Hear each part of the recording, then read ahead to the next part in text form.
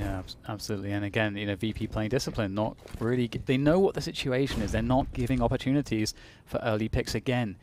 They've got the banana control. In fact, they're going for a push. A flank. is looking for a very aggressive play on the flank. Oh no, he's absolutely owned them in the back with that push. No respect whatsoever from YEKINDAR. Doesn't again doesn't have to do this, but he's going to. Beautiful from Virtus Pro.